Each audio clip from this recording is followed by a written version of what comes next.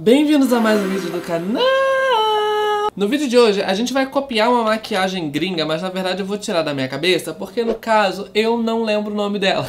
mas eu vejo ela toda hora nos meu, no meu explorar, e agora que eu quis encontrar ela, no caso eu não encontrei. Mas ela é conhecida por fazer um monte de maquiagem meio inspirada nos anos 60. Eu vou fazer com vocês, é maquiagem nível médio pra hard. e aí eu vou ensinar vocês a... Ensinar não, vou tentar, né? Porque não sei nem se essa maquiagem vai funcionar. E aí, no final das contas, eu vou deixar a conta dela aí embaixo. E na maquiagem, quando ela estiver totalmente feita, vocês vão ver claramente quem foi a inspiração. E aí vocês colocam aí no comentário, porque realmente eu esqueci o nome dela. Eu não sei quem é ela, mas eu sei que eu vejo ela direto no meu Instagram. Então vamos copiar a maquiagem da gringa desconhecida. Mas antes eu queria que você se inscrevesse aqui nesse canal, torne-se um viada!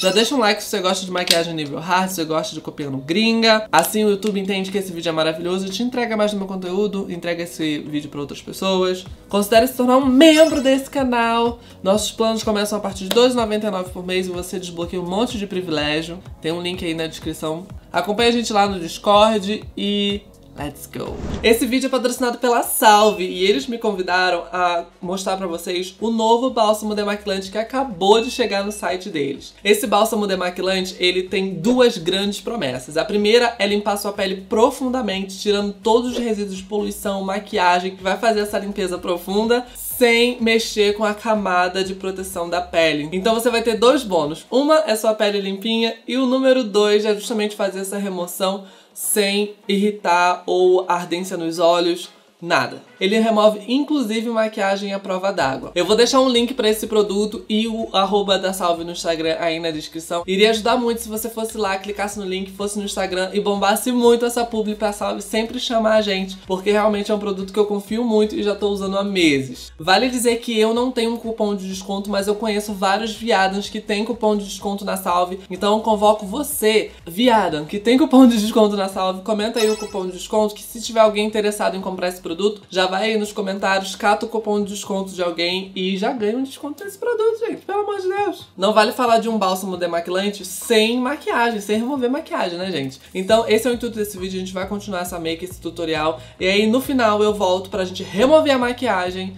e mostrar como esse produto funciona na prática, beleza? Então simbora! Eu vou começar essa make pelos olhos, o que é coisa rara de fazer, eu geralmente começo pela pele, porque eu gosto de ver a pele pronta para depois pensar nos olhos. Mas como a gente vai usar muito preto, a maquiagem de hoje é bem preta e branca, eu vou fazer primeiro os olhos para eu não cagar. Então, vou preparar meu olho com um corretivo, o que eu vou usar. Esse aqui é o Stay Naked da Urban Decay. Eu não vou necessariamente precisar de um primer de sombras neste momento, porque eu vou usar sombras líquidas e elas e as sombras líquidas já vão ser meu primer de sombras.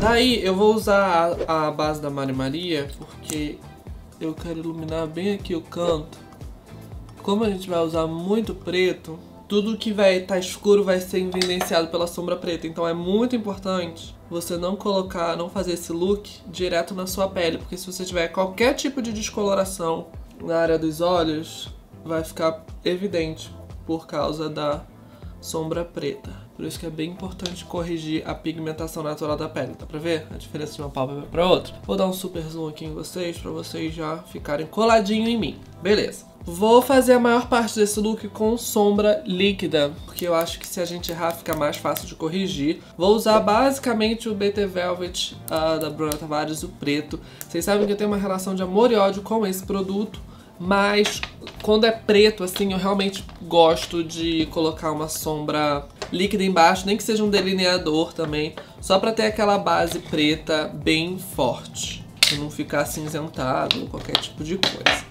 Eu vou começar, na verdade, fazendo um tipo um degradê aqui só pra facilitar a minha vida. Vou usar a paleta Sweet Peach da Too Faced porque estava nostálgico hoje. Foi a primeira paletinha que eu ganhei da Too Faced quando eles chegaram no Brasil. E aí fiquei com vontade de usar.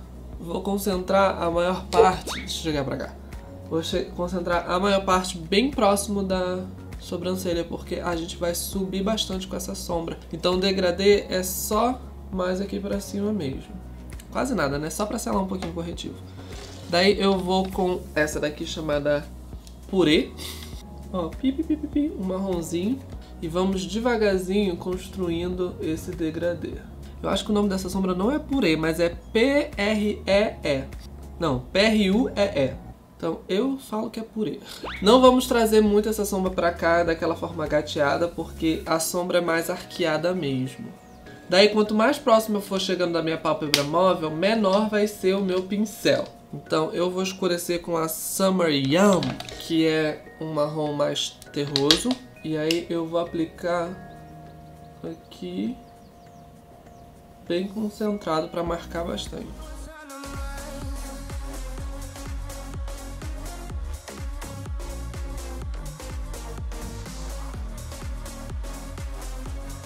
E é importante que você suba bastante com essa sombra, justamente porque nosso côncavo vai ter uma linha gráfica. Então você tem que fazer esse degradê para ele aparecer acima do côncavo, para ter sentido. Senão, quando você colocar a linha gráfica, ele vai sumir. Daí eu vou voltar primeiramente com aquela sombra mais clarinha e vou esfumar próximo à sobrancelha.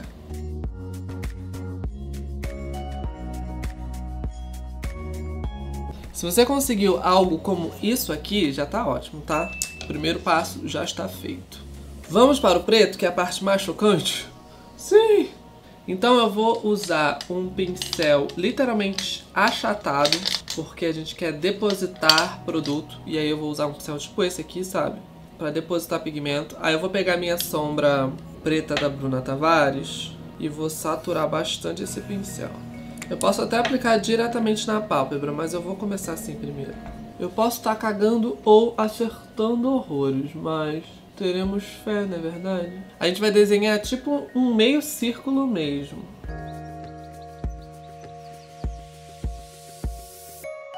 Ele não precisa ser 100% certo, porque a gente vai dar um acabamento dele depois.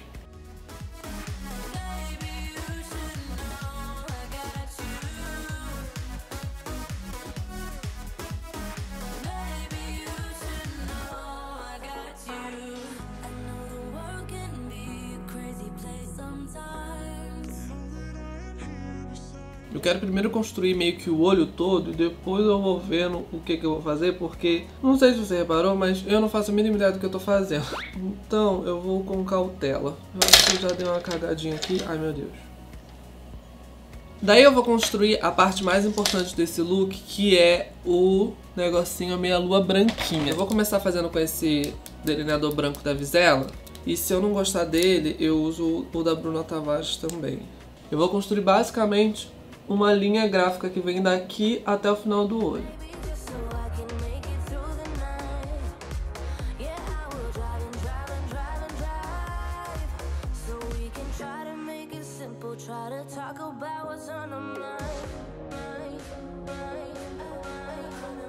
Basicamente assim, basicamente assim, Lili. Daí a gente pode ir de novo com um pincel um pouquinho mais preciso e aí a gente vai voltar com a sombra preta. E aí sim a gente vai dando um acabamento. E assim, essa sombra da Bruna Tavares, ela meio que se sela sozinha. Mas Moar prefere, sei lá, colocar uma sombra em cima para que ela realmente fique no lugar, tipo, pra sempre. Então praticamente vou pegar outra sombra preta, vou usar essa da paleta Glitter da Too Faced também. Essa paleta não existe mais, mas como eu falei, estou nostálgico hoje, quero usar. E aí eu vou pegar um outro pincelzinho de depositar com a sombra preta e vou literalmente selar esse, essa sombra líquida da Bruna. Que aí isso vai deixar a maquiagem muito mais pretinha, dá pra ver, e mais opaca. Show? Vamos para a parte de baixo? Eu ainda vou dar os últimos acabamentos com esfumagem, tá? Mas eu quero fazer mais ou menos a estrutura do olho todo, porque... Ah, gente, porque eu quero. Assim, eu tô na dúvida se eu faço uma linha d'água branca com esfumado preto ou coloco todo o olho preto com... Acho que vou botar todo o olho preto. Então, vambora. Fiz uma cagadinha aqui com a sombra, mas tudo bem, vai sair. Daí eu vou usar a sombra preta aqui embaixo também.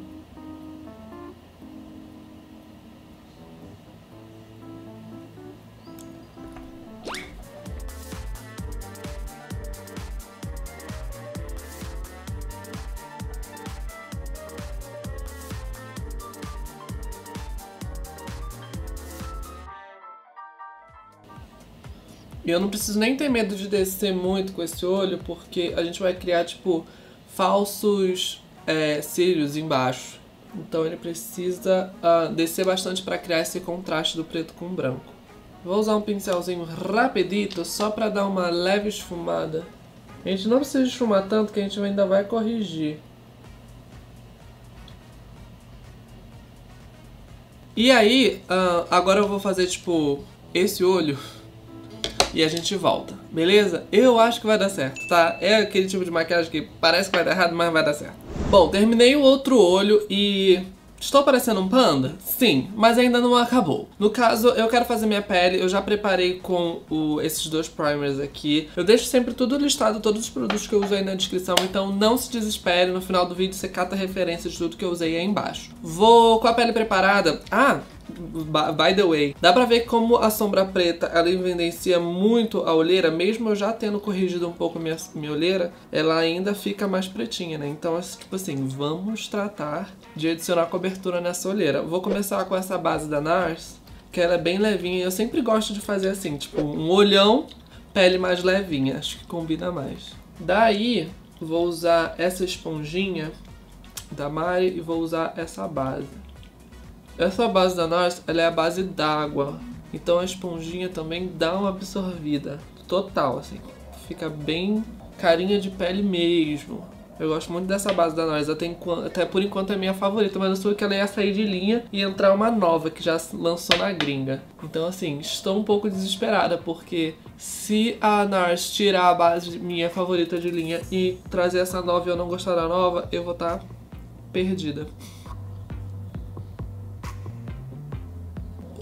Essa base é maravilhosa.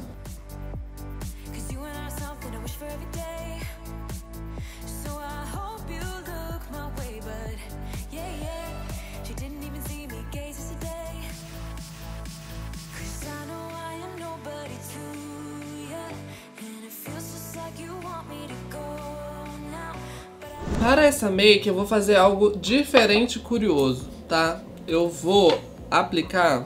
Calma. Deixa eu fazer o corretivo primeiro.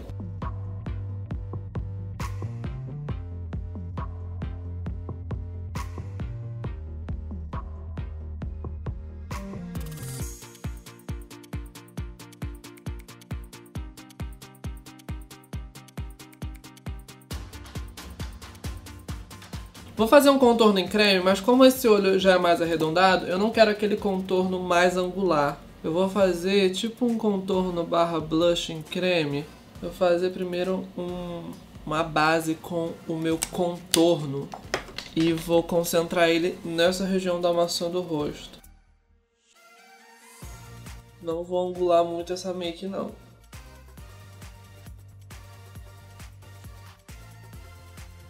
colocar um pouquinho no meu nariz e uh, na testa. De novo, eu não vou fazer. Deixa eu até dar um zoom em vocês. Geralmente eu contorno a testa aqui, né? Não, vou manter aqui e vou colocar aqui um pouquinho no, no queixo, porque eu quero esse efeito da minha, do meu rosto um pouco mais arredondado para combinar com o shape do olho. E como é uma maquiagem inspirada nos anos 60, não tinha muito contorno também não.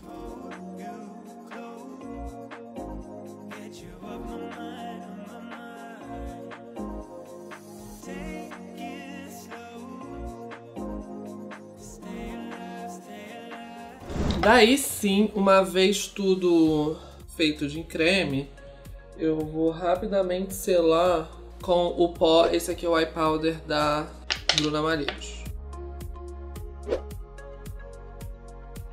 E eu vou deixar isso bem selado porque agora que a gente já fez a base, a gente vai aplicar sombra preta na parte de baixo do olho. Daí eu selo agora porque se cair base preta na pele, eu posso só varrer. E a pele tá seladinha. É pó pros olhos, mas eu aplico na testa também, tá? É isso, minha vida é isso.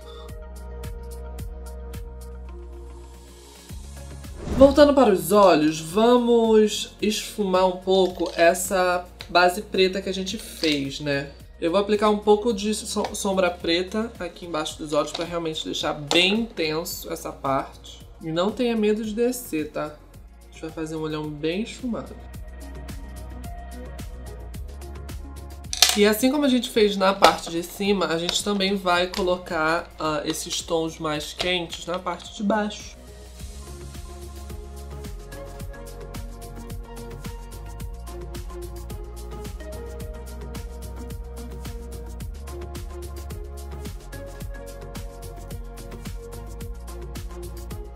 E aí, eu vou pegar mais uma vez o delineador branco e a gente vai fazer cílios brancos na parte de baixo. Fofíssima.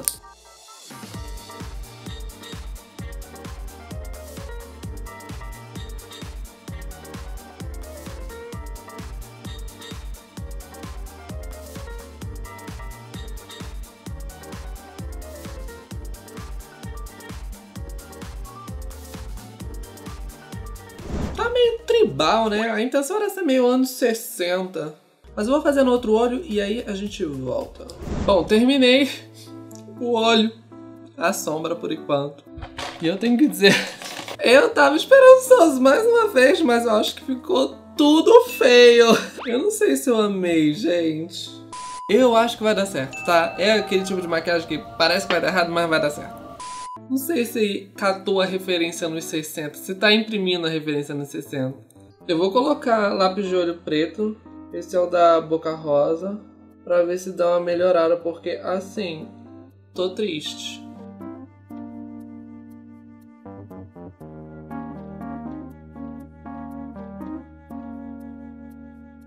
Melhorou! Tudo bem, vamos lá. Vou aplicar blush, blushzinho. Vou usar esse aqui da Bruna Tavares, que é o Magnolio. Dessa vez eu estou segurando na mão do YouTube para que esse tutorial de maquiagem dê certo, porque realmente, mais uma vez, na minha cabeça estava completamente diferente disso aqui. De qualquer maneira, vou manter o blush aqui, não quero nada angulado, quero tudo redondinho. Quero esse blush bem aqui.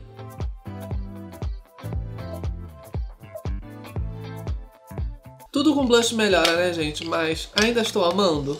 Não. vou só acender um pouco mais esse blush, vou usar a Sweet Peach Glow. Vou pegar esse blush aqui do meio. Vou só acender um pouco, só para dar mais saúde. Uh... Vou usar o iluminador que não deve ser nomeado, porque o nome dele é esse aqui. E se você lê da maneira que eu leio, eu acho melhor a gente não mencionar o nome dele pra gente não ser desmonetizado. Mas é ele. É ele que eu vou usar. Porque é ele que eu quero testar nessa make também. Porque eu já testei antes, mas eu achei ele bem bonito e queria usar de novo.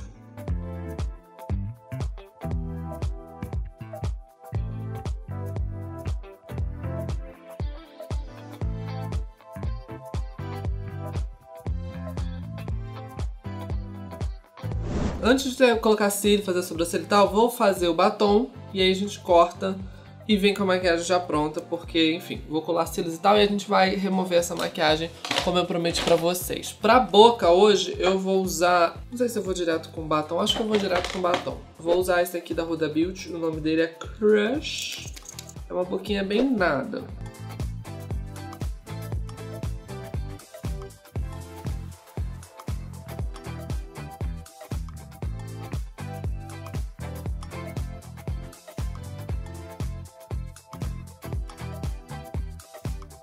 E aí eu vou dar o acabamento na boca com o gloss da Fenty. Esse aqui é no tom Sweet Mouth.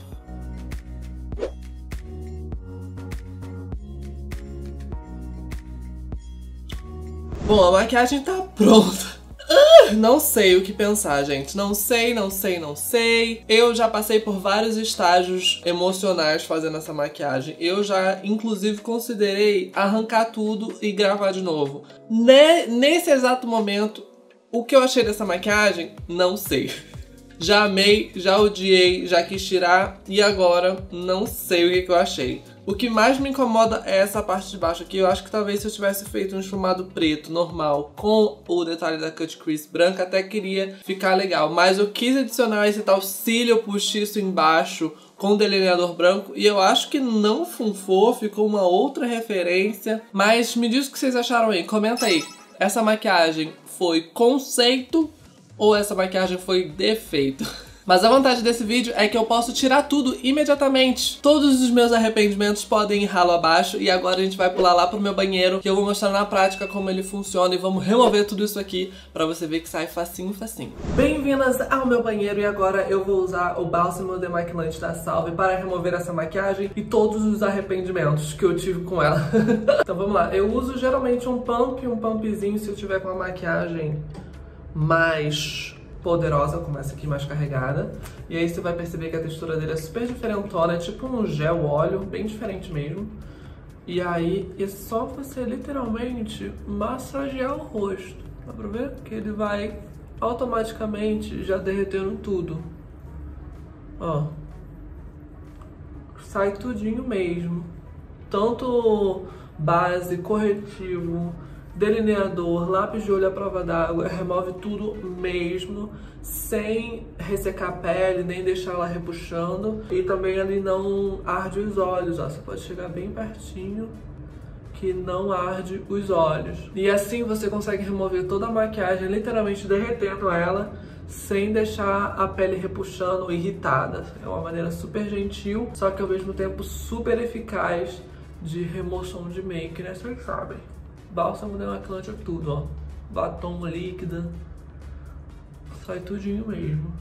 Ó, você pode até massagear bem os olhos para tirar aquela cola de cílios.